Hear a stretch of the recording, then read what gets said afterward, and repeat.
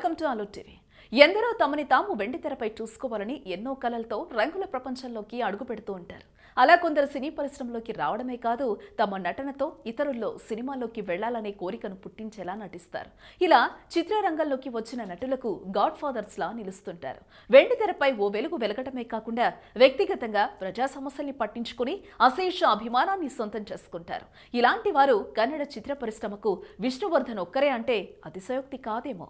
అలాంటి నటుడి రియల్ స్టోరీని ఇప్పుడు మనం తెలుసుకుందాం. విష్ణు మైసూర్లో నివాసం ఉండే నారాయణరావు కామాక్షమ్మ దంపతులకు పంతొమ్మిది వందల యాభై సెప్టెంబర్ పద్దెనిమిదిన జన్మించారు. విష్ణువర్ధన్ అసలు పేరు సంపత్ కుమార్. ఆయన తండ్రి నటుడు సంగీత దర్శకుడు రచయిత.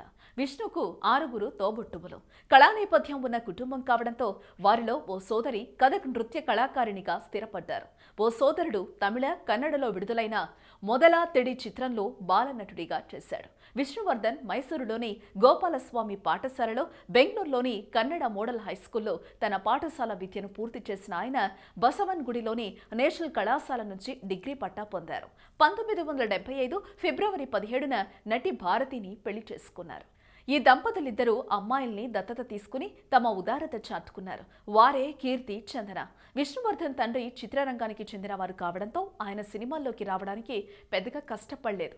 కన్నడలో పంతొమ్మిది వందల డెబ్బై రెండులో వచ్చిన వంశవృక్ష సినిమాతో సహాయ నటుడిగా వెంటు తెరకు పరిచయం అయ్యాడు అదే ఏడాది నాగరహవు చిత్రంతో కథానాయకుడిగా మారాడు. అప్పటి నుంచి ఆయన వెనుదిరిగి చూడలేదు. అంతేకాదు ఒకే ఏడాది పదిహేను చిత్రాల్లో నటించి రికార్డు సృష్టించారు. అభిమానుల్ని అలరించేందుకు ఇతర నటుల సినిమాలో అతిథి పాత్రలు పోషించారు. నాలుగు హిందీ ఆరు తమిళ రెండు మలయాళం రెండు తెలుగు చిత్రాల్లో కథానాయకుడిగా మెరుసారు విష్ణు.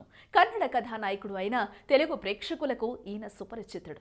పంతొమ్మిది వందల ఎనభై ఏడులో సర్దార్ ధర్మన్న చిత్రంతో టాలీవుడ్కు పరిచయమైన విష్ణు ఆ తర్వాత ఒక్కడ చాలు సినిమాతో మెప్పించాడు. ఆయన నటించిన ఆప్తమిత్ర చిత్రమే తెలుగులో రజనీకాంత్ హీరోగా వచ్చిన చంద్రముఖి. ఇందులో విష్ణు నటన అత్యద్భుతం. ఆ సినిమాకు సీక్వెల్గా తెరకెక్కిన చిత్రం రాజా విజయ రాజేంద్ర బహదూర్తో తెలుగు ప్రేక్షకులకు మళ్ళీ దగ్గరయ్యారు. కన్నడ తమిళ్ మలయాళం హిందీ తెలుగు అన్ని భాషలు కలిపి సుమారు రెండు వందల ఇరవై చిత్రాల్లో నటించిన ఘనత ఆయన సొంతం. విష్ణు కేవలం కథానాయకుడు మాత్రమే కాదు కథారచయిత గాయకుడు నిర్మాత కూడా ఆల్రౌండర్గా అభిమానుల్ని అలరించారు. వెండితెరపైనే కాకుండా పంతొమ్మిది వందల ఎనభైలో తొలిసారి బుల్లితెర ప్రేక్షకులను అలరించారు. అప్పట్లో ప్రాచుర్యం పొందిన మాల్గుడి డేస్ సీరియల్లో ప్రధాన పాత్ర పోషించారు విష్ణు. ఈయన నటించిన సినిమాలకు ఎన్నో అవార్డులను కూడా అందుకున్నారు. ఉత్తమ నటుడిగా కర్ణాటక రాష్ట్ర ప్రభుత్వం నుంచి ఏడు సినిమాలకు గాను ఏడు అవార్డులు ఆరు ఫిలింఫేర్ అవార్డులు అందుకున్నారు.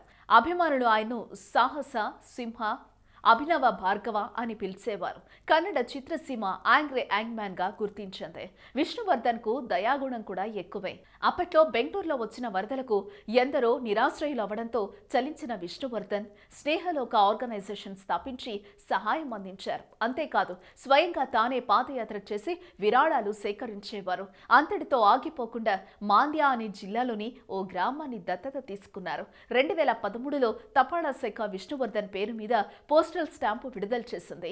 రెండు వేల ఎనిమిదిలో సిఎన్ఎన్ ఐబిఎన్ నిర్వహించిన పోల్లో కన్నడ సినీ రంగంలో ప్రముఖుడు విష్ణువర్ధన్ అని పేర్కొంది.